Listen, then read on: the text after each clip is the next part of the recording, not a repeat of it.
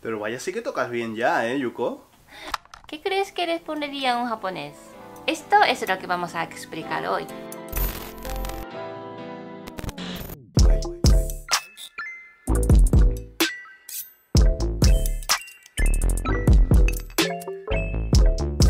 Antes de empezar a explicar cómo es la modestia en Japón y cómo se usa, porque al fin y al cabo es muy similar al resto del mundo, ¿vale? Es muy importante no caer en un error, no caer en una malinterpretación más bien. Voy a contar una experiencia que me pasó a mí personalmente, un caso que, que yo viví.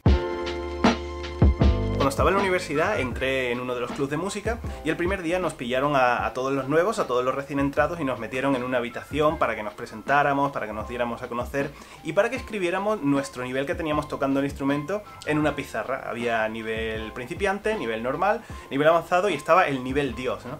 Y cuando llegó mi turno, muchos de ellos pensaban que, que yo tenía el nivel Dios, ¿no? Empezaron Kami-sama, Kami-sama. para que escribiera nivel Dios. Obviamente yo tocando la guitarra no tengo nivel Dios, tengo nivel normal y es lo que puse, nivel normal.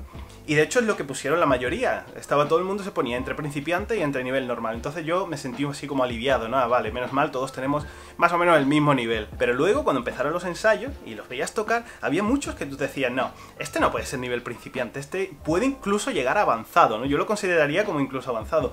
Había un par de ellos que estaban en grupos de música, incluso hay alguno que está ya en alguna banda así medio famosilla, que toca con grupos de Estados Unidos y todo. Recuerdo que incluso salí en, un videoclip de uno de ellos cuando estaban empezando con, este careto. Y vale, si son tan buenos, o por lo menos para mí eran tan buenos, ¿por qué se ponían nivel principiante? Y yo al principio pensaba que era por modestia, por humildad o, por no querer destacar sobre los demás. Era la percepción que yo tenía de los japoneses. Y a ver, que es cierto, en Japón es algo que existe. Pero no es por esto, no es por modestia es por el umbral o digamos los estándares que se tienen en Japón de, este concepto, de lo que es un principiante, de lo que a partir de dónde eres ya a nivel avanzado. En Japón este concepto difiere bastante de la idea que tenemos en España de principiante, ¿no? Es que ellos genuinamente piensan que son de nivel bajo, que son principiantes, aunque tú lo ves o yo lo veo y digo, no tío, tú sabes tocar bastante bien, eres más que un principiante.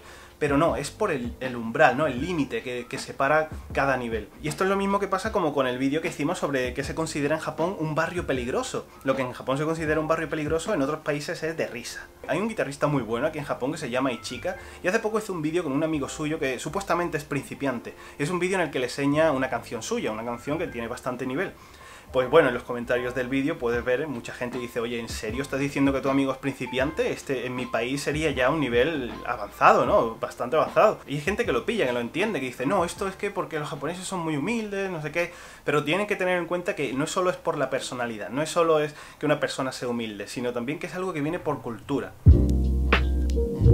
Yo antes no estaba tocando la guitarra de verdad, ¿eh? Pero en este vídeo vamos a utilizar ese ejemplo porque es muy útil. En Japón hay diferentes tipos de humildad o modestia, pero depende de lo que yo responda, se considera quién son o kenkyo o humildad exagerada. Con este ejemplo vais a diferenciarlo muy fácil. Pero vaya, sí que tocas bien ya, ¿eh, Yuko? Ah, sí, muchas gracias. Pero me gustaría aprender más teoría. Pero vaya, sí que tocas bien ya, ¿eh, Yuko? ¿Tú crees? Si toco muy mal, no. Pero vaya, sí que tocas bien ya, ¿eh, Yuko? ¿Verdad que sí? Me lo dice mucho. Las tres respuestas son muy diferentes, ¿verdad? Las dos primeras son las más normales y ninguna es mejor que la otra. Pero en la tercera, si responde así, un poco mal, ¿no? ¿Está bien? Aquí yo tengo talento. Aquí yo soy papá. Entre amigos a lo mejor sí, pero no está bien. En ese primer ejemplo hay claro una cosa, y son las ganas de seguir aprendiendo. Te han halagado, te han dicho, oh, que bien haces esto, pero tú muestras ganas de seguir aprendiendo más. Esta es la auténtica modestia japonesa, la que viene por cultura, la que tiene un trasfondo cultural. Ya en el Bushido, en el código de conducta samurai, es algo que existía, y por lo menos desde principios del siglo XVII estaba presente este valor como algo positivo. Es decir, según ese código de conducta, un samurái, por muy hábil que fuera con su espada, no, no, tenía que ir aprovechándose de ello, no tenía que ir pensando por la vida, bueno, yo ya soy un experto aquí, ¿eh? Un samurái debía sentirse aprendiz durante toda su vida. Su vida era un camino que no tenía fin, un camino de aprendizaje, por eso Bushido significa el camino de los guerreros. ¿no? Y por supuesto, a la hora de derrotar a un adversario tenía que seguir mostrando humildad, mostrando respeto a ese adversario, no podía regocijarse en su victoria, ¿no? Perdedor, no, no podía hacer eso. es algo que también se ve reflejado en las artes marciales. Pues ese ese valor se ha modernizado en, estos tiempos y nos sigue acompañando hoy en día. Y esa modestia japonesa no es algo que los japoneses tienen de nacimiento, ¿sabes? No, no nacen con el ADN modificado para que sean humildes, para que sean modestos.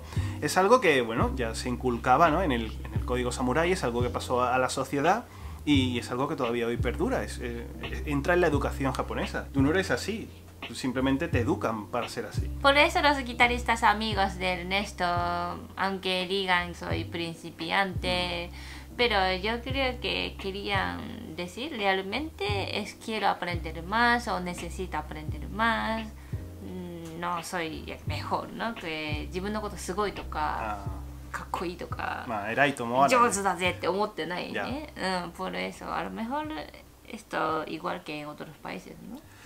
Sí, es algo común, ¿no? Para, para todo el mundo. No creo que haya nadie que esté, que esté bien visto de diga, yo, pero si yo soy el mejor. tú que- que- que-". Bueno, hay gente así, ¿no? Pero Sí, que no sí, está sí. bien visto. Lo que pasa es que en Japón hay varios conceptos de modestia que ah, tú lo traduces al español y pone modestia. Traduces esto, modestia. Pero en Japón está kenkyo, lo que he dicho antes, kenson. Por eso pasamos ahora al segundo ejemplo, en el que vimos un tipo de humildad tipo de modestia en el que la persona simplemente tiende a, a rebajarse o tiende a restar importancia a su talento. ¿Tú crees? Si toco muy mal, no.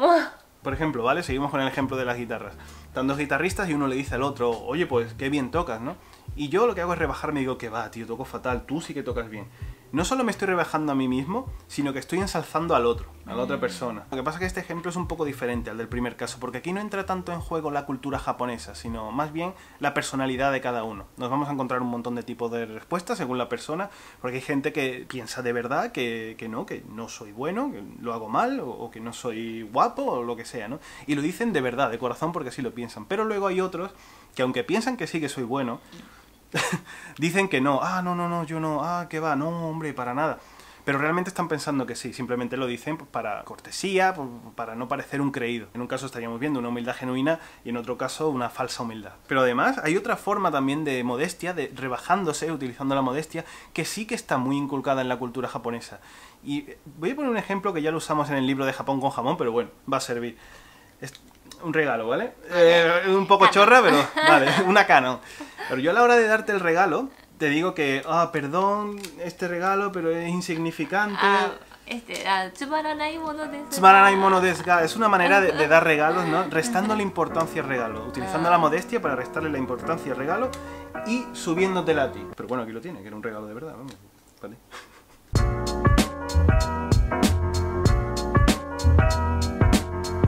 Gustaría daros consejos eh, sobre qué responder en Japón o cuál es lo más correcto. Es que depende de quién te lo diga o, o un desconocido o tu amigo o depende de algo de esfuerzo o algo tuyo natural. Por ejemplo, a ti mucha gente en la calle dice qué guapo o qué alto, ¿no? Esas cosas no es algo de esfuerzo Ya. algo, ya eres así, es- Sí. ya eres así. Soy así, pero no. En ese momento es mejor no llevar la contraria, ¿no? Ah, muchas gracias, eh, me alegro, arigato gozaimasu, ah, ureshii. No niega lo que dice esa persona ma, en ese momento. Sí, entiendo. Mm, pero tú, ¿qué responde en la calle? Yo soy muy cortante. Yo digo en plan, ya, zen, zen. Ah. No, pero lo digo porque de verdad, genuinamente lo pienso, ¿sabes? No, no es por hacer modestia ni nada de eso, sino porque de verdad pienso que no soy guapo y, y lo digo, ya está, aunque esto es muy subjetivo, ¿no? Yo recuerdo que hace un tiempo estábamos Aren Kun y yo en el parque y había un matrimonio de cincuenta y tantos años y vieron a Aren y dijeron, ay, qué guapo, es guapo por, por su padre, ¿no? Se parece al padre. Y le dije, no, yo soy feo, se parece a la madre. ¿no? Y dice, no, hombre, si, si los españoles son muy guapos, ¿qué son más guapos, los españoles o los japoneses? Me dijo. Y le dije, ¿una jigurai? ¿no? Son iguales, ¿no? Como- Yo diría también, no sé, guapo. Pero tú, si tú me dices... Hay gente que son muy graciosos y también tímidos y si le dicen, eres muy guapo, responde, no te voy a regalar nada, ¿eh? Eso es como para no tener vergüenza, ¿no? Desviar un poco la atención de la... Mm, Sí, sí. entiendo. Depende de la situación, cómo es, quién te lo diga. Entonces no hay respuesta correcta. No, ya. de la gente. ¿no? Si en realidad lo que queremos deciros es que no os comáis la cabeza con estas cosas, ¿sabes? Responded lo que os salga realmente, porque hay, hay gente en, en Japón que, que, dice incluso lo de si le dicen, yo qué sé, eres guapo, mm. por seguir con el mismo ejemplo, dicen que me lo dicen mucho, mm. ¿sabes? Mm. ¿De show? Mm. Yo cuido a una. Eh, motel carane, tocane. O sea, que hay gente que hasta responde eso, ¿no? Que es supuestamente lo contrario mm. a lo que se cree que, se, que habría que responder correctamente responder lo que queráis, con saber que hay diferentes tipos de modestia, cómo se aplican, lo del Kenkyo, Kenson, es que Kenkyo es uh, algo de sentimiento. Tengo que aprender más. Y Kenson es actitud. Tú eres más arriba, ¿no? Como embajador. ¿Entiendes? bueno, nosotros esperamos que hayas aprendido mucho sobre, sobre Japón, sobre, sobre los japoneses y de todo. Si os ha gustado este vídeo, dale a like. Nosotros, ¿dónde nos vemos? En Necosita En Necosita